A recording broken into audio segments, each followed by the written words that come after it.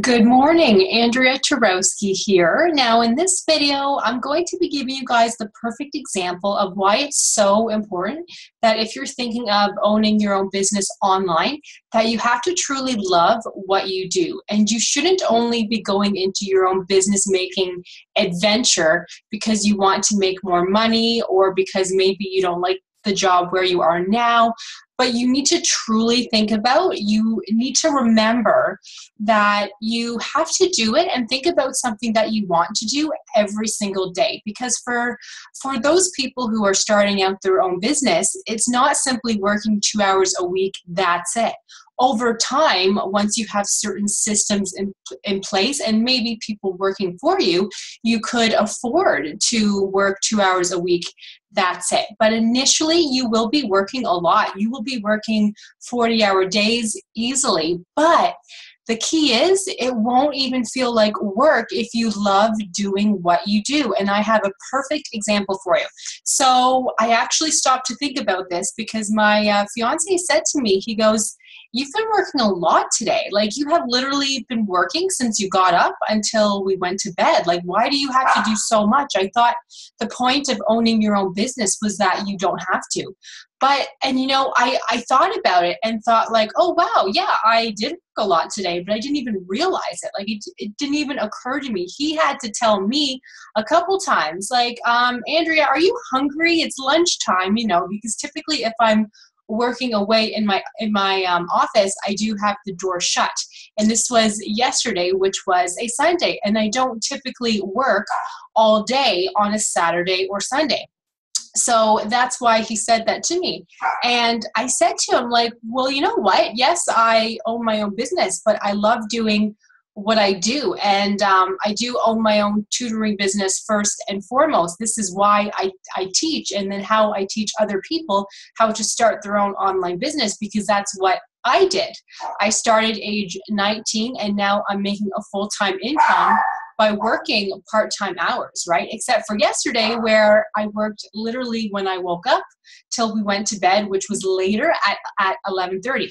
So you might be thinking, well, why did I do that? Well, you know what? It's because it's around that time. It's almost the end of the year. So this means that I update all of my tutoring courses. So I tutor dental assisting students um, and I tutor dental hygiene students how to pass the board exam. But more recently, I have this new course which takes a lot of my time and energy at the moment because it's all new. Um, I teach actually students who are still in school. So I tutor them on, you know, how to pass their classes, exams, clinic projects, group assignments while they're still in school. So technically, I have three things on the go. The um, Dental stu- uh, student program, which is where I teach students still in school, is new. So I have to put in everything. So new videos, new mock exams, new materials, new live sessions, everything. But um, the dental hygiene and dental assisting board exam prep courses that I have, I was simply updating them. So what this means is I changed the whole interface. So I made it look completely different. So actually I can show you guys. Let me just share my screen here so I can show you guys what I'm talking about. So again, perfect example of why you have to love what you do because again, it didn't even it didn't occur to me that I was working all day yesterday. Do I do that all the time? No, but when I'm on a roll, so to speak, I just keep on going and going and going until I'm finished because I didn't intend on rebuilding the entire course all day yesterday. I usually plan to spend about two hours um, a day on updates, you know, if they need to be done. But I spent all day yesterday.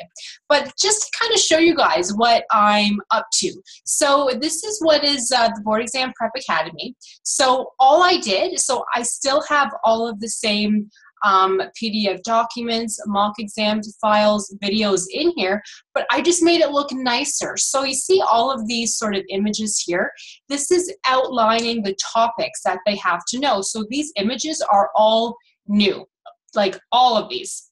So I did input these And then if you click on them, it will take them to that topic that they want to learn. Because if you're taking the board exam, you have to know every little thing, right? So that is what I teach them. So, as an example, let's just click on this one since the first one. So, I had to input all of this stuff new. Now, I did have it all in the computer somewhere, but I had to find the file, input it here, and that takes time, right? Because I'm not the most organized person. I pretend to be, I want to be, but sometimes I'm just not, right?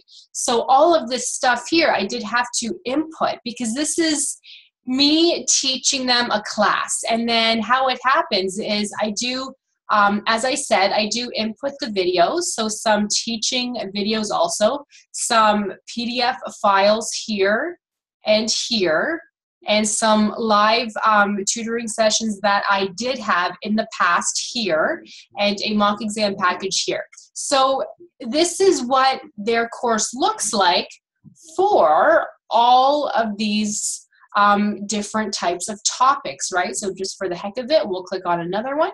Um, so you see, it's the same type of thing. Now, this takes time, right? So this literally took me all day. So I did have all of the videos saved on YouTube, all of the files saved, but I had to go into YouTube and let's say find the videos that I have on instrumentation down here um, and then imp- input them here. And then I had to find my PDF files on my computer and then input them here. So I did have it all, but this is the first time that I've sort of put it into the one area. Because how I had it in the Board Exam Prep Academy before was I would simply have the files and the videos sort of over here, and the topic title I would have at the top. But it looked kind of disorganized to me. Like, even if you click here again, this to me looks a little bit disorganized, but I don't know how else to put it in there, right? And students like to be able to see the file that they want to download because how I did have it before was you see these little um, file things here. I would have them like one, two, three, one, two, three, one, two, three. But students actually told me that they like to see what the file looks like, like this, before they open it. Um, to me, this still looks a little disorganized, but I tried to make it as pretty as possible, and students love it. This is what students want to see, right? So but it takes time. But it didn't feel like work to me. In fact, even when I went to sleep, or I tried um, to go to sleep around 11:30, I'm pretty sure I didn't fall asleep for at least another hour because I was just thinking, thinking, thinking how else to kind of organize things. How should I sort of input the files? Should I separate the topics even further? So I kept on thinking, right? So you know, if you're the type of person where you're trying to decide the type of business that you want online, because there's something for everybody. Trust me on this. There's something for everybody. It's just you have to decide what your something is. You know, um, a good rule of thumb is what are you able to teach somebody else? You know, what did you go to college for? What did you go to school for? What do your friends and family say? Oh, wow, like you are good at this topic, you know? Um, is, is there something that you could talk about for hours and hours and hours and not get tired of talking about it? Is there something that you could work on every single day and not be tired about, you know, or of working on it? You know, think about something like that. And when it comes to um, my dental hygiene and dental assisting courses that I have, I I am a dental hygienist. I was a dental assistant 13 years ago, but I have learned these skills that not everybody has, right? And I am good at taking tests and exams. So, this is why I teach other students how to be that good also. And I love it. If I didn't like it, I would not be doing it. You know, we all know those teachers who pretend they like their jobs but don't. We all know those nurses who we've met in the hospital and in, in the doctor's office who we know they hate being there so why are they there? But you can't be that person. You have to pick something and love it. So again a perfect example. See i did a lot of work here you guys. It took forever but my my students love it and they and they are so thankful to have a more sort of organized um, file format inside the board exams Prep Academy. So you can leave the video and think about something that you want to do. If you've started your online business already, then you you might need to take a step back and say, okay, am I doing exactly what I want to do? Do I love to write articles, make videos? Do I love talking to my clients? Do I love making purses? You know, whatever your business is, you have to love it and pay attention to the details.